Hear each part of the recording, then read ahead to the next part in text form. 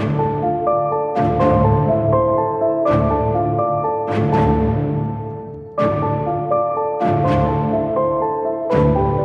everyone, this is Ahmed Dawn. Today I have a special post to express my gratitude and thanks to 5000 plus extraordinary people for thinking outside the box and helping me exploring beyond boundaries.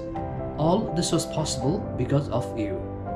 As you may have noticed, on this channel, my objective is to entertain and educate you with something new and different and not to let you predict what's coming next. Whether you're with me since 1 subscriber or 1000 subscribers, you're all wonderful and I relentlessly work hard to create content for people like you. Thank you for being a part of this journey and remember, always live for the journey, not the destination.